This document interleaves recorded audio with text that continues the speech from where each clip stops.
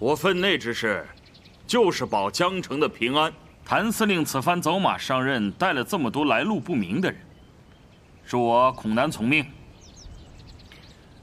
我的这些兵都是谭家的老兵，并非来路不明，他们每一个人的渊源都比您深厚的多。我只想带他们回家而已。回家？他们的番号是什么？据我所知，他们只不过是上海一个商会的民团罢了，连个军人都不是。谭司令，把这些人带回来，不太合适吧？陈师长，你是故意为难我吗？谭司令是北京政府任命的镇守使，走马上任，别人自然很欢迎。可带来的这些私兵，我不能接收。好，既然我接任了江城镇守使，那我命令你备好营房，备好军饷，把我的兄弟们迎进城。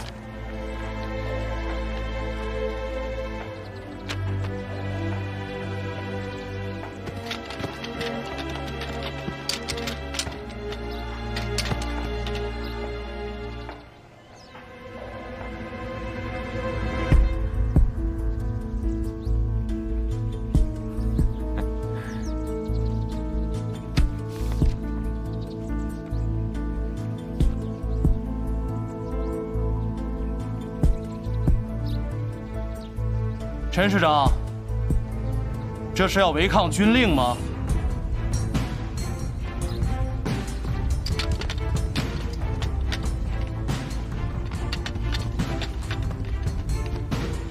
进城！欢迎新任江城镇守使。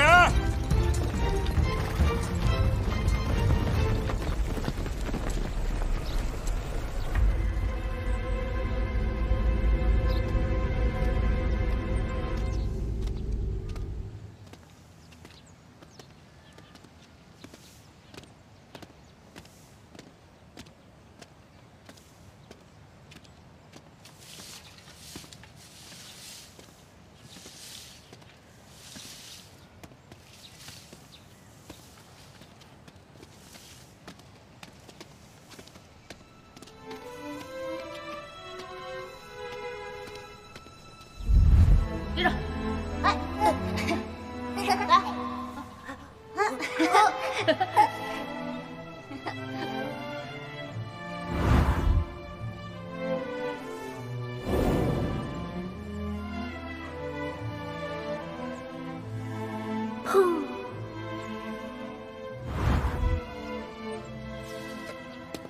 想到以前了。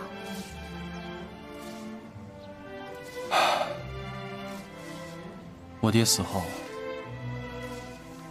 谭家军就被罗炳文撤销了番号，这江城又归入了徐伯钧的地盘。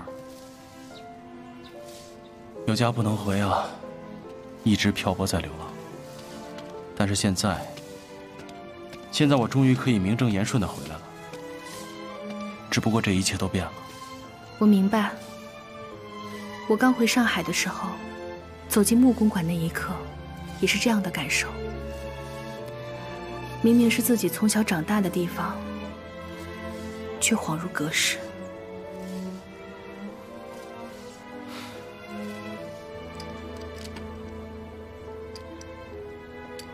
来，粒粒皆辛苦。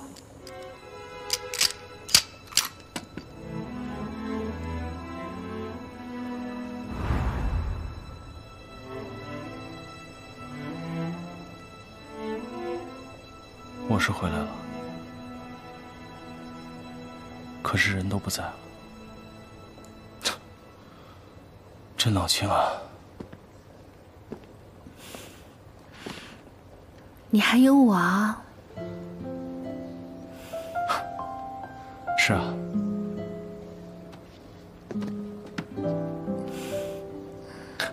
还有你，以后还会有我们的孩子。会在这里玩耍，如果你喜欢，我们可以多生几个，生他一个牌怎么样？你想累死我啊！司令，司令，有一名叫刘富的师长求见。刘富，刘叔，快请他进来。好。我们进城的时候，那个陈少武并不欢迎我们。这时候，这个刘师长来干嘛？这个刘富，是我爹的老部下了。当时我们在当马匪的时候，他就一直是我爹的左膀右臂。小的时候，我还跟他一起学过骑马呢。但这十年没见了，难免不是一条心。今天这个陈少武，摆明了就是要和我翻脸的。我想要坐稳这个位置，就必须要得到这些老师长的支持。在这里面，我认识的只有这个刘叔了。可他靠得住吗？但我想赌一把。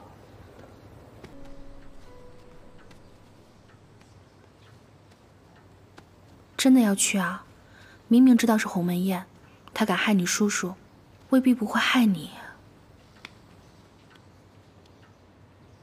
放心吧，他不是我对手。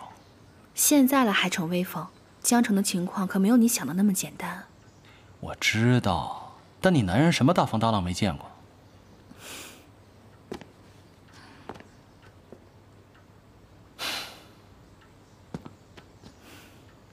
放心吧。各位同僚，谭司令，大驾光临，蓬荜生辉。谭司令，当年在上海。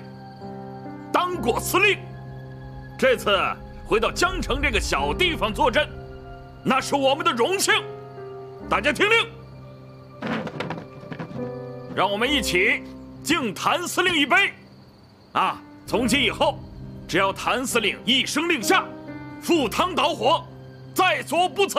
赴汤蹈火，在所不辞。哎，各位，稍安勿躁，听我说一句。陈市长。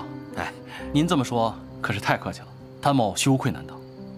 今天是家宴，咱们抛开所有的官职，在座的各位大部分是我的前辈，是长辈，我敬大家，来，干了！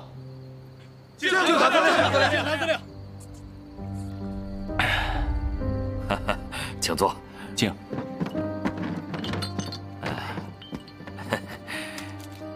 烟酒不分家啊，来抽一根，哈德门。好烟！